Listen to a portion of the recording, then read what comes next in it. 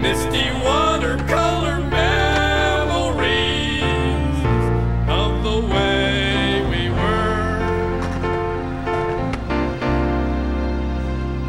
Memories may be beautiful and